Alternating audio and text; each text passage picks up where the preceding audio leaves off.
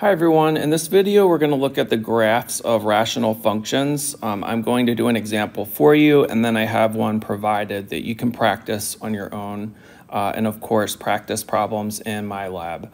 So we're going to graph the function 3x squared minus 3 over x squared minus 4. Remember this is a rational function because you have a polynomial in the numerator and a polynomial in the denominator um, and that gives us rational functions. So I have these steps that you can follow when graphing these. So the first thing is you want to find the x and y intercepts. So if you'll remember, to find an x-intercept, you're going to let the y equal 0. So I'm going to do that here. So I'm just going to take y, which is f of x, and make it equal 0.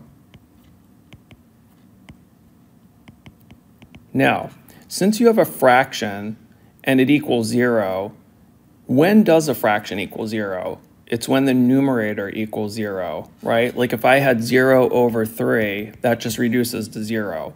So all I really care about here is the numerator. I don't care about the denominator.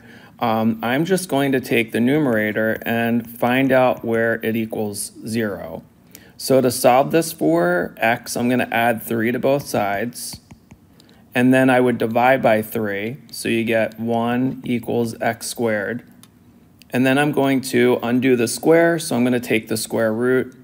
And when I do that, I get plus or minus 1. So I have two x-intercepts. One of them is at negative 1, 0, and the other is at positive 1, 0. And then remember to find the y-intercept, you're going to let x equal 0. So you're simply going to replace all of your x's with 0.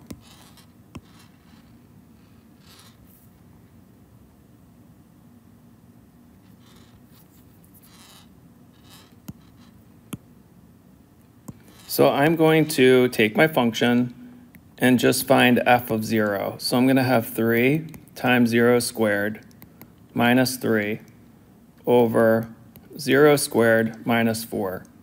And 0 times anything is just 0, so the first terms just go away.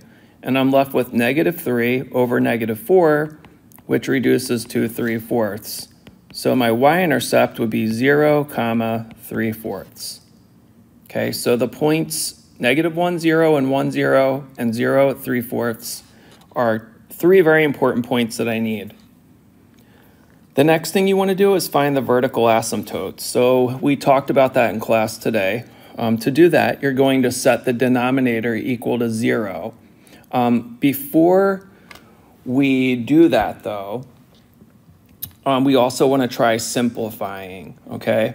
So um, my function is f of x equals 3x squared minus 3 over x squared minus 4. I can factor the denominator. We talked about it today. It's called a difference of squares. So it factors into x minus 2, x plus 2. And then in the numerator, I can factor a 3 out since both terms have a 3. 3x squared divided by 3 is just x squared. And 3 divided by 3 is 1. So you have 3 times x squared minus 1. Okay, x squared minus 1 also factors into x plus 1 times x minus 1. It's also a difference of squares, but um, I'll write it here, but it's not going to help with the problem at all because as you can see, the numerator and the denominator, nothing cancels out there. Okay, so since nothing cancels for me, I have two vertical asymptotes, and those would occur where the denominator equals zero. So I'm going to take my denominator, set it equal to zero, and there are your two vertical asymptotes. You'll have one at x equals 2 and one at x equals negative 2.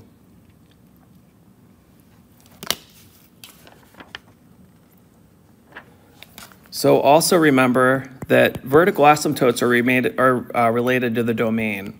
So my domain will be x such that x can't equal negative 2 and x can't equal 2.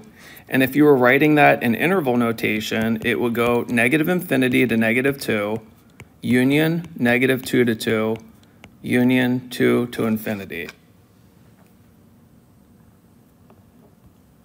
Now I need to look for horizontal or oblique asymptotes. And remember there's three cases there. So if I take my um, function, which is f of x equals 3x squared minus 3 over x squared minus 4. I'm going to compare the uh, degree in the numerator, which is n, so that's 2, and the degree in the denominator, which is m, and that's 2. And you'll recall that when n equals m, the horizontal asymptote is y equals the coefficient on top, so 3, divided by the coefficient on the bottom, which we don't see there. It's actually just 1. So 3 divided by 1 is 3. So the horizontal asymptote is going to be um, y equals 3. There is no slant asymptote or oblique asymptote because for that to happen, the power in the numerator would have to be greater than the power in the denominator by 1. Okay, next we're going to look at symmetry. So remember, in order to tell if something is symmetric with the y-axis, you just need to replace all your x's with negative x's and if it returns the same exact function you started with, it's even. And any function that's even is also symmetric to the y-axis. If you replace all the x's with negative x's and you get the opposite of the function you started with, the function's odd. So remember O for odd, O for opposite, and also O for origin. It's symmetric with the origin.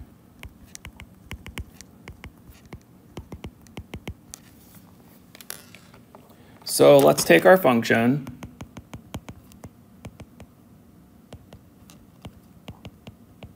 And everywhere there's an x, I'm going to replace it with negative x.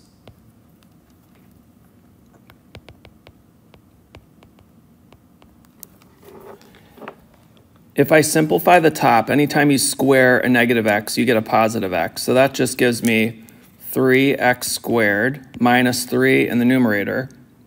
And in the denominator, if I square negative x, I get x squared minus 4. So I have the same function that I started with. That means then that this is even and it's symmetric to the y-axis. Okay, so now what I need to do is I need to find additional points that I could use um, to create this graph, okay? So if I was to um, plug this into Desmos, so you could see this,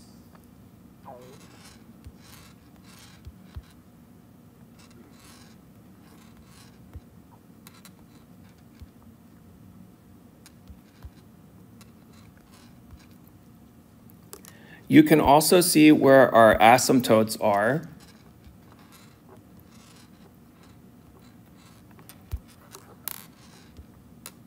So there's your two vertical asymptotes. Here is your horizontal asymptote. Okay, and I'm going to make them dashed so they're easier to see. Okay? I want to choose some values to the left and to the right um, so I can kind of see what's going on. So um, my, uh, if I go to the left of the black line, I could choose some values over there like negative 5, negative 10, whatever values you want. Um, I would also want to choose some values in between the black and red dashed lines. So right there, that's negative 1 and I know that that is negative 2. So I would want to choose some values in between negative 1 and negative 2, like negative 1.5. And then I want to choose like values between 1 and positive 2, so 1.5. and then choose some other numbers to the right of the red dashed line.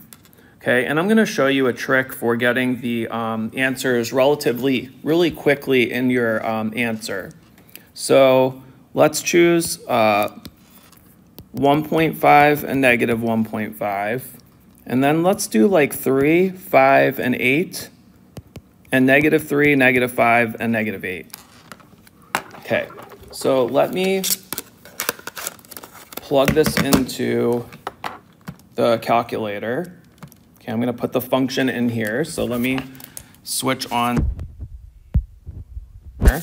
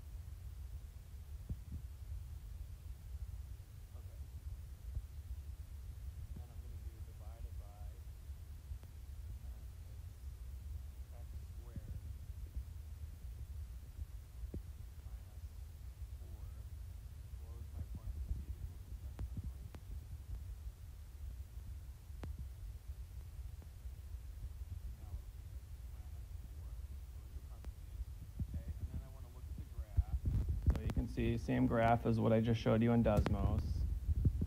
Um, but now I want to get a table of values, right? So I want to go to second table, okay, and if you notice, there's already values in there, and I don't necessarily want those.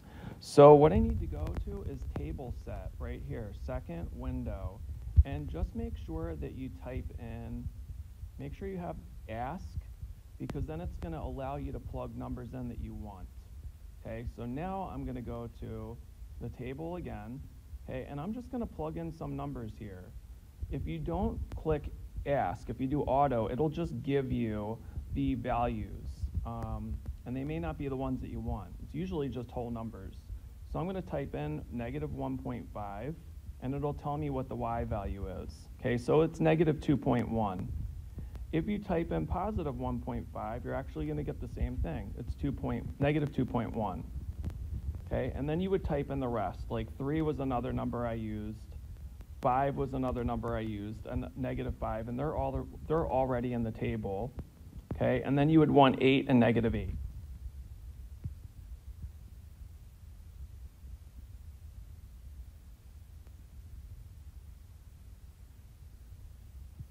Okay. So it only allows me to type in certain values, which is fine. You could get rid of the negative 2 and the 2 up top if you wanted. Um, but I'm going to plug these values in. So let me switch back to here. Now I'm going to give you those values. So you would get negative 2.1 for both of those, 4.8, 3.4, 3.1, 4.8, 3.4, and 3.1. Okay, and I already graphed it on Desmos, but I'm going to graph it here again so you can see it. So I want to plot my x-intercepts, um, and if you'll remember, my x-intercepts were, um, I don't remember what they were, uh, plus 1 and minus 1. So here's my x-intercepts. I had a y-intercept at 0 comma 3 fourths, so 3 quarters is like right about there. I also had my um, asymptotes. I had one at x equals negative 2, so that would be right there. And x equals positive 2. And then don't forget, you also have one at y equals 3.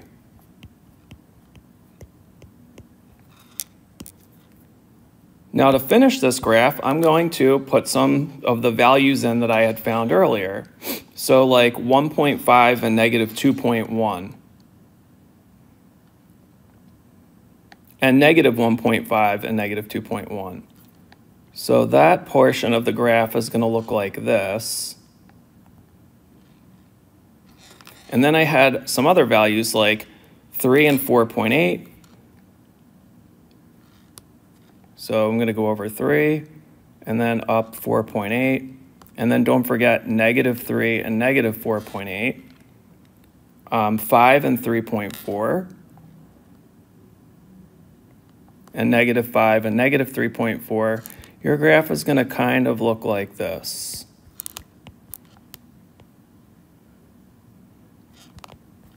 And you can check it on Desmos.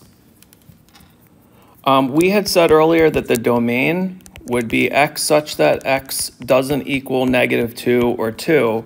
But now what about the range? So the range here, and I'll write it in set notation, is if you notice, um, there's nothing in between right there. So that goes from negative or positive 3 fourths, the y-intercept, up to that number there, which would be 3, right? There's nothing there. So in other words, y has to be less than or equal to 3 fourths. So that means the y-intercept down, because the parabola is pointing down, or y has to be greater than that horizontal asymptote at 3 for the range, because there's nothing in between 3 fourths and 3 either the y values are going to be 3 fourths or less, or they're going to be greater than 3. Remember, it can't be greater than or equal to because there's an asymptote there. So you don't want the y values to ever equal 3. They can't ever equal 3. Okay, so that's the video for 5.4. Um, again, these take practice. There's plenty of problems to practice with in your homework. And then there's one more here you can try. If you have any questions, please reach out to me, but please don't wait long to start the homework. You want to start it right away. This way, if you have questions, you can always ask in class, um, or you can, um, you know, email me. All right, hope you all have a great rest of your day.